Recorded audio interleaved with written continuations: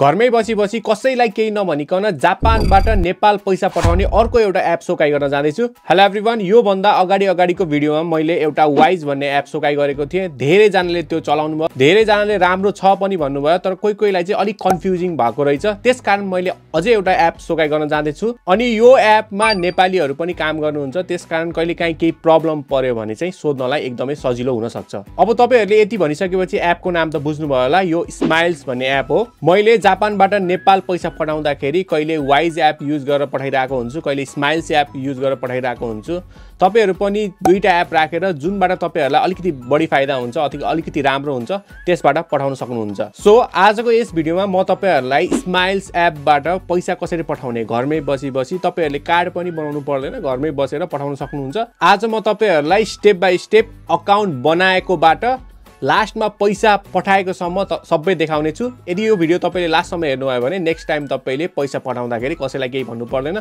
तपाईँले घरमै बसी बसी आफैले पठाउन सक्नुहुन्छ। अब जो जसले वाइज एपबाट पठाइराख्नु भएको छ। उहाँहरूलाई त दुईवटा अप्सन हुने भइहाल्यो। So with all that set let's get into the video तपाईँहरूले स्माइल्स एप एप स्टोरमा गएर डाउनलोड गर्न सक्नुहुन्छ। एप स्टोरमा गएर स्माइल्स हान्नुभयो भने तपाईँहरूको यस्तो लोगो आउँछ। यदि तपाईँहरूले देख्नु भएको छ भने ठिकै छ देख्नु भएको छैन भने यो तपाईँहरूले डाउनलोड गर्नुहोला डाउनलोड गरिसकेर ओपन गरिसकेपछि तपाईँहरूको यो तिनवटा अप्सन आउँछ। हामीले यसमा चाहिँ कन्ट्री चाहिँ जापान रोजेका छौँ। अनि यसको भाषा चाहिँ तपाईँले आफूले मन लागेको राख्न सक्नुहुन्छ। नेपाली अथवा इङ्ग्लिस। मैले चाहिँ अहिले इङ्ग्लिस राखेँ है। त्यसपछि यो चाहिँ रेड देखाएको। यो चाहिँ अहिले हामीले स्किप गरौँ। अनि त्यसपछि नोटिफिकेसन तपाईँले आफ्नो चोइस गर्न सक्नुहुन्छ। नोटिफिकेसन पछि क्रिएट अकाउन्टमा जाने। त्यसपछि फर्स्ट टाइम हामी फर्स्ट टाइम खोल्दैछौँ। त्यसको फर्स्ट टाइम अनि त्यसपछि आर यु जापानिज नो होइन नो गरिसकेपछि चाहिँ अब माथि चाहिँ यो कन्ट्री अफ रेजिडेन्ट भनेर भनेको छ तल चाहिँ हामी कुन नेसनालिटीको नेपाल अनि त्यसपछि ओके गरिसकेपछि अब हामीले हाम्रो जिमेल आइडी अथवा एप्पल आइडी जे हाने नि हुन्छ मैले चाहिँ जिमेल रोजेँ होइन माथि चाहिँ मैले आफूले युज गरिरहेको जि नेक्स्ट गरेँ भने तपाईँको यो स्क्रिन आउँछ। यहाँ चाहिँ तपाईँहरूले यो चाहिँ कोड चाहिँ तपाईँको इमेलमा पठाएको हो। यो कोड चाहिँ तपाईँहरूले इमेलमा गएर हेर्न सक्नुहुन्छ। मैले यो उसमा क्लिक गरिसकेपछि चाहिँ तपाईँको यस्तो ढोका खालके आउँछ। यहाँ चाहिँ तपाईँहरूले त्यो इमेलमा आएको कोड हान्ने हो। मैले कोड हानेँ। कोड हानिसकेपछि चाहिँ तपाईँहरूको स्माइल अकाउन्ट चाहिँ अहिलेलाई बन्यो। स्माइल अकाउन्ट बन्यो तर अझै पुरा भएको छैन। अब यहाँ चाहिँ पासकोड राख्ने कि नराख्ने भने के के के के सोधिरहेछ। यसमा चाहिँ म यो एपमा चाहिँ पासकोड राख्छु भनेर चाहिँ मैले माथिको क्लिक गरेर पास पासकोड राखेँ। तपाईँहरूले अरू युज बायोमेट्रिक अथेन् अथेन्टिकेसन पनि राख्न सक्नुहुन्छ। मैले चाहिँ पासकोड राखेँ। यो आफ्नो आफ्नो कुरा हो होइन? अब सेफ राख्नको लागि अब जेसुकै होइन? अब यहाँ तपाईँहरूले देख्न सक्नुहुन्छ यो टु स्टेप रेजिस्ट्रेसन भनेर लेखेको छ होइन? रेजिस्टर इन टु स्टेप भनेर लेखेको छ। यो चाहिँ सुरुमा खोल्दाखेरि चाहिँ डाइरेक्ट आउँछ है। यो चाहिँ मैले पज गरेर देखाएको तपाईँलाई। यसरी यो आउँछ। यहाँ चाहिँ तपाईँहरूले आफ्नो डाटा आइडी हाल्नुपर्छ है। आइडी र सेल्फी होइन? आफ्नो जाइरो कार्ड यताउता हाल्नुपर्छ। त्यसले नेक्स्ट गर्ने। अब यो चाहिँ टर्म्स एन्ड कन्डिसन तपाईँले पढेर त्यसपछि तल I agree to terms and condition गरेर नेक्स्ट गर्ने। अब यहाँ के भनेको छ भने do not create duplicate accounts do not transfer you account to another person do not remit on behalf on another person आफ्नो चाहिँ आफैले गर्ने अरूकोबाट चाहिँ नगर यताउता भनेर भनिएको छ। यो चाहिँ राम्रोसँग पढ्नु होला अनि माइ नम्बर बुझाउनुपर्छ है पहिला पैसा पठाउनुभन्दा अगाडि। यो कुरा चाहिँ याद गर्नु होला। अनि त्यसपछि आई अन्डरस्ट्यान्ड गरेर नेक्स्ट गर्ने। यति गरिसकेपछि तपाईँहरूको जाइरो कार्ड सुरुमा माग्छ लाइसेन्स होइन माइ नम्बर पनि होइन। सुरुमा चाहिँ जाइरो कार्डले तपाईँले जाइरो कार्ड दिनुपर्ने हुन्छ। ओके गरिसकेपछि अब तपाईँहरूले जाइरो कार्डको फोटो हाल्ने है अगाडि पछाडिको। यो चाहिँ मैले हल्का फास्ट फरवर्ड गरेँ किनकि यो तपाईँ त्यहीँ सबै दिइरहेको हुन्छ कि यस्तो यस्तो गर भनेर। तपाईँले आफै बुझ्नुहुन्छ। त्यस कारण मैले चाहिँ यो फास्ट फरवर्ड गरेँ है। तपाईँले आफ्नो फोटो राखेर लास्टमा सबै गरिसकेपछि एकचोटि जाइरो कार्डमा भएको डेटा चाहिँ लेख्नु हाल्नुपर्ने हुन्छ इनपुट गर्नुपर्ने हुन्छ। जुन तपाईँले यहाँ देख्न सक्नुहुन्छ मैले फास्ट फरवर्ड गरिरहेको छु। आफ्नो फोन नम्बर सबै हालेर अनि यो सबै भइसकेपछि सब्मिट टु कम्प्लिट भन्ने एउटा अप्सन आउँछ। त्यसमा गरिसकेपछि तपाईँहरूको भयो एप्लिकेसन सब्मिट भयो। अब उनीहरूले तपाईँहरूको जाइरो कार्ड हेरेर केही ब्लर आएको छ कि छैन त्यो हेर्नुहुन्छ अनि त्यसपछि तपाईँको एक्सेप्ट हुन्छ है। अब यहाँ तपाईँहरूको डाइरेक्ट त्यो अहिले गएको छैन भने टु स्टेप रेजिस्ट्रेसनमा गएर गर्ने त्यही हो। अनि यसरी एप्लिकेसन रिसिभ भनेर आएको हुन्छ। दुई तिन दिन लाग्छ भनेर भने पनि हुनलाई चाहिँ एक दुई दिनमा भइहाल्छ है। अब यति भइसकेपछि तपाईँहरू आफ्नो प्रोफाइलमा गएर अब चाहिँ तपाईँले पैसा पठाउनुभन्दा अगाडि अहिले हामीले माइ नम्बर कार्ड हालेको थिएन नि त। त्यस कारण पहिला हामीले माइ नम्बर कार्ड हाल्नुपर्छ। प्रोफाइलमा सबै कुरा आइसकेको छ तल लास्टमा चाहिँ आइडेन्टिफिकेसनमा जापानिज रेसिडेन्ट कार्ड र माइ नम्बर चाहिँ अनसमिटेड भनेर लेखेको छ मेरोमा है। तपाईँले पनि बुझाउनु भएको छैन भने अनसमिटेड भनेर लेखेको हुन्छ। त्यस कारण तपाईँहरूले यो माई नम्बरमा गएर तपाईँको कार्ड हाल्नुपर्ने हुन्छ। आइडेन्टिफिकेसनमा गयो भने तपाईँको जाइरो कार्डको इन्फर्मेसन सबै देखाउँछ होइन। अनि त्यसपछि माई नम्बरमा गयो भने तपाईँले माई नम्बर हाल्न मिल्छ। यो पैसा पठाउने चिज भएको भएर सबै हाल्नुपर्ने हुन्छ कि किन भन्दाखेरि शान्तिनो कुरा होइन नि त। अनि त्यही भएर माई नम्बरमा गएर यसरी तपाईँले माई नम्बर कार्डको माथिको बाह्रवटा डिजिट हान्ने अनि त्यसपछि माई नम्बर कार्डको अगाडिको र पछाडिको फोटो तपाईँहरूले पठाइदिनु पर्छ यो चाहिँ म तपाईँहरूलाई फास्ट फरवर्ड गरेर देखाएँ। केही गर्नु पर्दैन त उनीहरूले उहाँ भनेअनुसार चाहिँ फोटो खिचेर पठाइदिने मात्रै हो। त्यति भइसकेपछि तपाईँहरूले डन गरिदिने।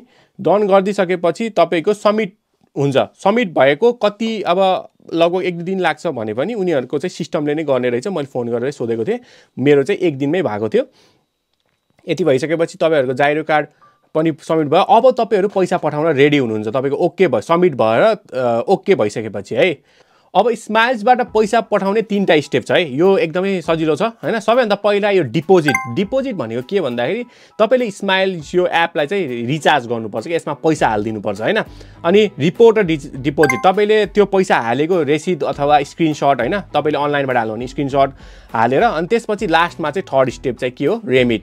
त्यति गरिसकेपछि तपाईँहरूको यो पैसा पठाउन मिल्छ। तर त्योभन्दा अगाडि हामीलाई चाहिँ बेनिफिसरी चाहियो। यो चाहिँ कसलाई पठाउने भन्ने कुरा हो नि त। त्यो बेनिफिसरी बेनिफिसरी अब जे जसरी भने पनि त्यो चाहिँ चाहियो। अकाउन्ट उहाँ नेपालको अकाउन्ट चाहियो नि त। त्यो सबैभन्दा पहिला हामी त्यो एड गर्छौँ है त। त्यसको लागि हामी यो एड बेनिफिसरी भनेर माथि लेखेको छ। त्योमा क्लिक गरिसकेपछि चाहिँ तपाईँहरूको यो आउँछ। हामीले चाहिँ केबाट पठाउने? स्माइल्सबाट है। मनीग्राम रिया पनि छ तर अहिलेलाई चाहिँ हामी स्माइल्स क्लिक गरेर नेपाल डेस्टिनेसन है।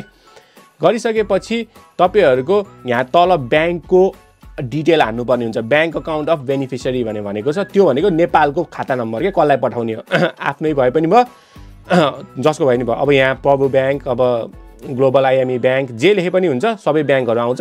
अनि त्यसपछि अकाउन्ट नम्बर नेम होइन ब्याङ्कको डिटेलहरू उता पठाउने डिटेलहरू चाहिँ लेख्नु होला। अनि स्माइल्सले के भन्छ भन्दा तपाईँले यो रङ नम्बरमा पठाउनु भयो भने स्माइल्स चाहिँ जिम्मेवारी हुँदैन है भनेर भनेको छ। त्यस कारण उता पठाउने अकाउन्ट नम्बर र नाम चाहिँ एकदमै राम्रोसँग हेर्नु होला है। जो पाइ त्यसलाई पठाउनु भयो भने चाहिँ स्माइल चाहिँ जिम्मेवारी हुन्न भनेर पहिले भनेको छ। तपाईँहरूको यो माथिको डेटा सबै लेखिसकेपछि एड्रेस पनि सोध्छ है उहाँको। एड्रेसहरू नेपालको एड्रेस सोध्छ होइन? त्यो पनि लेखिदिनु होला। अनि त्यो लेखिसकेपछि नेक्स्ट गरेपछि तपाईँहरूको बेनिफिसियरी एड हुन्छ। अब तपाईँहरूले पठाउँदाखेरि डाइरेक्ट त्यो बेनिफिसियरीमा अठाउनु भयो भने ठ्याक्क त्यहाँ गइहाल्छ। त्यो धेरै घरिघरि खाता नम्बर हानिराख्नु पर्दैन। यति भइसकेपछि हामीले बेनिफिसियरी एड गऱ्यौँ। उहाँ नेपालमा पठाउने मान्छेको एड गऱ्यौँ। आफ्नो बुवा मम्मीको जसको भए पनि एड गऱ्यौँ होइन? अब यति भइसकेपछि तपाईँहरूले नेक्स्ट गर्नुभयो भने यो चाहिँ त्यही भने है अहिले मैले भनेको। जसको पाएँ त्यसकोमा गयो भने स्माइल चाहिँ उस हुँदैन अथवा त्यस्तै चाहिँ रुलहरू के?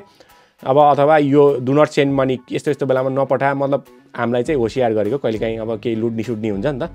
अब यो कुरा चाहिँ तपाईँले पढेर हेर्न सक्नुहुन्छ। अब यहाँ चाहिँ सक्सेस भयो होइन? रे त्यो खाता नम्बर जोडिन सक् सक्सेस भयो। अब हामीले चाहिँ बेनिफिसियरी पनि एड गरियौँ अब हामीले चाहिँ पैसा पठाउन मिल्छ।